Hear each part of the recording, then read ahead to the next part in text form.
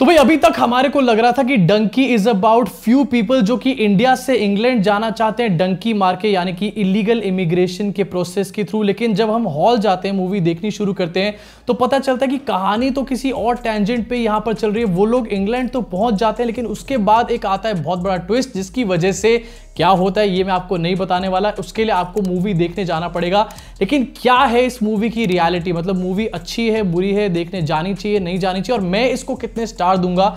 ये तो मैं आगे चल के आपको बताऊँगा, लेकिन सबसे पहले, आखिरकार मीडिया हाउसेज इस टाइम पर इसको कितने स्टार्स दे रहे हैं? और एक कंफ्यूजन भी यहाँ पर क्रिएट हो रखा है। सबसे पहले अपनी स्क्रीन पर देखिए इंडिया टुडे ने इसको पाँच में से चार स्टार दिए हैं। उसके बाद इंडियन एक्सप्रेस ने इसको डेढ़ स्टार देके कहा है कि बहुत ही बेकार है।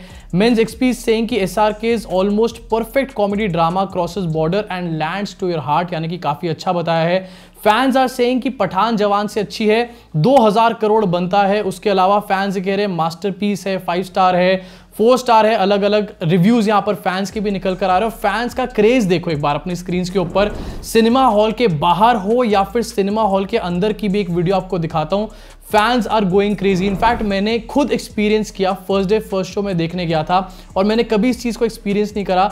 एक बंदा निकल करके आता है और नीचे लुटपुट गया. गाना जब आता है तो पूरे गाने में वो डांस करता गया. भाई, बंदे के कॉन्फिडेंस को भी सलाम करना चाहूँगा और उसके पागलपन को भी यहाँ पर सलाम करना चाहूँगा. लेकिन ये है फैंस का क्रेज अब मूवी जो मैंने बताया आपको स्टोरी जैसे बताया गया था शुरुआत में कि भाई इंडिया से इंग्लैंड जाना चाहते हैं. कुछ लोग डंकी मार करके वो लोग जाते हैं. ये मूवी की स्टोरी है, लेकिन इससे भी बियॉन्ड बहुत ज़्यादा स्टोरी है। जब वो पहुँच जाते हैं तो उनकी क्या क्या वहाँ सिचुएशंस हो जाती हैं, क्या उनको कठिनाइयाँ फेस करनी पड़ती हैं?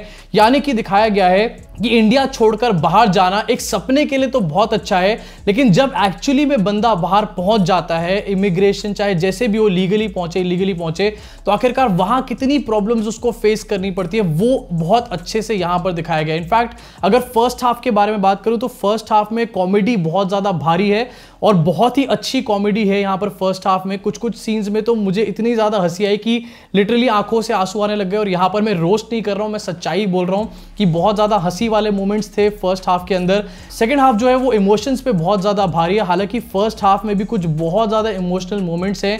लेकिन ओवरऑल अगर मैं बात करूँ तो सेकेंड हाफ़ में ज़्यादा इमोशनली एंगल को दिखाया गया है और बहुत सारे पॉइंट्स ऐसे भी आएँगे जब आपके सच में यार आँखों पर आँसू जो है बिल्कुल टपकने वाले होंगे। अब आप समझ सकते हो कि कितनी ज़्यादा इमोशनल एंगल पे मूवी जाएगी। इनफैक्ट अगर मैं बात करूँ इस साल के बारे में तो इस साल अभी तक कोई ऐसी मूवी आई ही नहीं थी जिसने या तो हमारे को बहुत अच्छे तरीके से हंसाया हो, या फिर जिसने हमारे को बहुत अच्छे तरीके से रुलाया हो। ये पहली ऐसी मूवी है इस साल के अंदर जिसने ये दोनों काम परफेक्टली यहाँ पर करें। अब जैसे मैंने बताया था पहले भी अपने वीडियोस में डंकी के बारे में कि राजू हिरानी जो है अपने कैरेक्टर्स के ऊपर बहुत अच्छे से काम करते हैं और जब हमने इसके trailer drop one drop two drop three देखे, तभी भी हमने देखा कि बार बार कैरेक्टर्स को इंट्रोड्यूस यहाँ पर किया जा रहा था, यानी कि कैरेक्टर्स से एसोसिएशन बनाया जा रहा था। वही सेम चीज़ आप मूवी के अंदर देखते हो। इनफैक्ट जब आप बाहर भी आओगे तो शाहरुख खान तो एक बहुत बड़े स्टार हैं, जो इसमें साइड कैरेक्टर्स हैं। जैसे कि बग्गू और बिल्ला, इन दोनों कैरेक्टर्स से भी आप बहुत ज़्यादा एसोसिएट कर जाओगे, इनसे भी बहुत ज़्यादा अटैच हो जाओगे।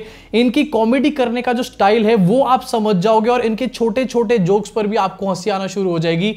मूवी के मिड से पहले तक ऐसी हालत हो जाएगी। मतलब आप काफ़ी ज़्यादा इंडल्ज कर जाओगे छोटे छोटे कैरेक्टर के अंदर। अब अगर बात करी जाए मूवी के ट्रेलर को देखकर, हमने काफ़ी स्पेकुलेशन लगा लिए थे कि भाई विकी कौशल का यहाँ पर कैमियो है और विकी कौशल शायद यहाँ पर मर जाएँगे। ये सब चीज़ हमने ट्रेलर के अंदर देख ली थी और समझ भी ली थी।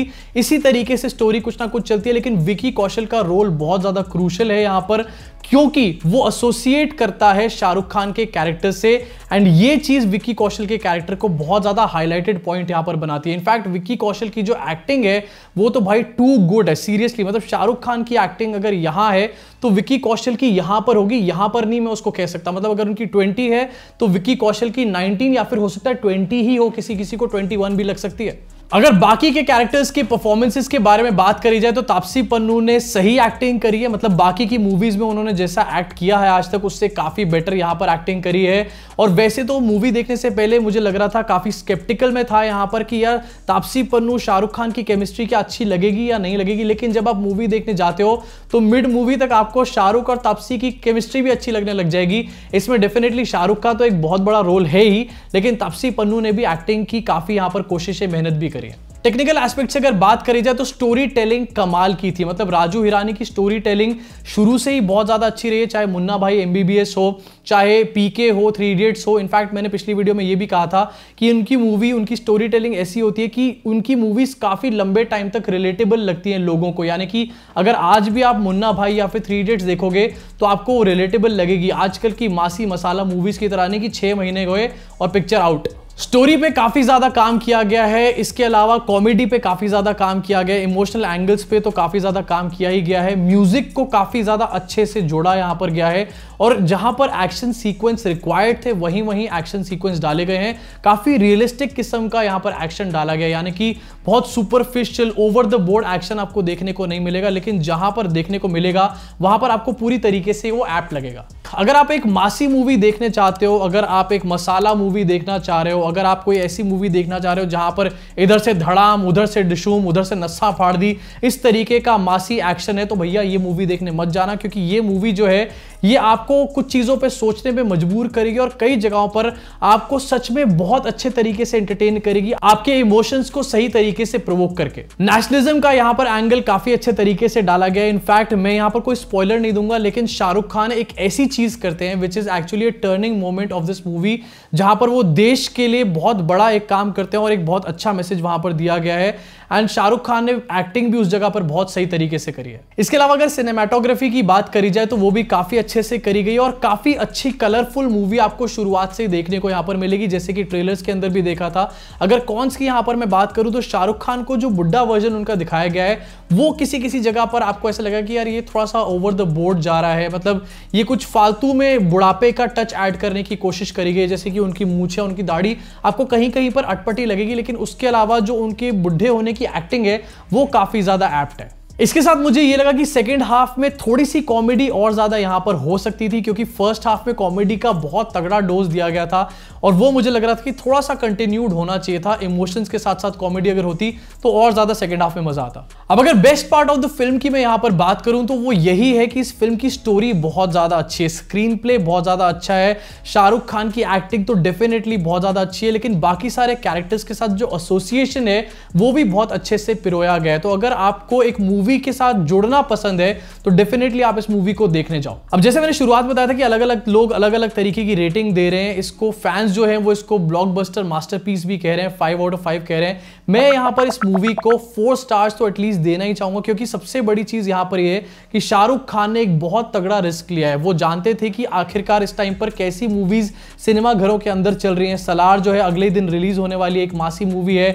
उसके बीच में डंकी जैसी स्क्रिप्ट के साथ शाहरुख खान जब आए तो ये इट्स एक बहुत बड़ा रिस्क था लेकिन शाहरुख खान ने भाई प्रूव करके रख दिया कि वो एक सच में बहुत तगड़े एक्टर हैं वर्सटाइल एक्टर हैं और किसी भी तरीके की स्क्रिप्ट हो, चाहे मासी स्क्रिप्ट हो या फिर एक इंटेलेक्चुअल डंकी टाइप की स्क्रिप्ट हो, दोनों को ही वो बहुत अच्छे तरीके से कैरी कर सकते हैं। इनफैक्ट शाहरुख खान ने यहाँ पर इस बात को भी फिर से रीएस्टैब्लिश करके रख दिया कि वो रोमांस के भी काफ़ी बड़े बादशाह हैं, क्योंकि यार यहाँ पर उन्होंने तापसी पन्नू के साथ रोमांस किया है और तापसी पन्नू के साथ उनकी कोई केमिस्ट्री इमेजिन भी नहीं हम कर सकते थे और शाहरुख खान ने उसको भी प्रॉपरली करके दिखाया है। तो इसमें शाहरुख खान का बहुत बड़ा एक योगदान है। इसी के साथ इस वीडियो को यही खत्म करना चाहूँगा। अगर आपने मूवी देख ली तो आपका क्या रिएक्शन है? आप इसको कितने स्टार देंगे? हो सकता है बहुत सारे लोग इसको पसंद ना करें, लेकिन अगेन अगर आप मासी मूवी एक्सपेक्टेशन रख रहे थे इससे तो इसमें मूवी मेकर की गलती नहीं है। सच में यहाँ पर आपकी गलती है, क्योंकि ये एक मासी मूवी थी ही नहीं, और इसको इस तरीके से पिच ही नहीं करा गया था शुरुआत से। इसको शुरुआत से दिखाया गया था कि भाई डंकी प्रोसेस के बारे में है, और इंटेलेक्चुअल सी यहाँ पर स्क्रिप्ट है, जहाँ पर इमोशंस बहुत ज़्यादा होंगे। और जो चीज़ यहाँ पर दिखाने की कोशिश या फिर प्रॉमिस किया गया था, उस पर पूरी तरीके से ये लोग खड़े उतरे तो ये था मेरा डंकी का रिव्यू विदाउट एनी स्पॉयलर्स हो सकता है छोटे मोटे मैंने यहाँ वहाँ दे दिया लेकिन यार उतने तो ट्रेलर के अंदर ही मिल गए थे। स्पॉयलर्स के साथ वाली वीडियो आने वाले टाइम में आएगी, क्योंकि ये मूवी जो है this is also worth discussing जैसे कि जवान थी, जवान में एक सोशल मैसेज था। इसके अंदर भी सोशल मैसेज और सोशल मैसेज वाली चीज़ें। मुझे पर्सनली बहुत ज़्यादा पसंद है, मैं उनको काफ़ी ज़्यादा डिस्कस करता हूँ। तो अभी के लिए इस वीडियो में सिर्फ़ इतना ही। अगर देखने नहीं गए तो देखने डेफिनेटली जाओ। और अगर देखकर आ चुके हो तो कमेंट सेक्शन में कमेंट करके बताओ कि आखिरकार कैसी लगी। मुलाकात होगी आप सब लोगों से इस चैनल के अगले वीडियो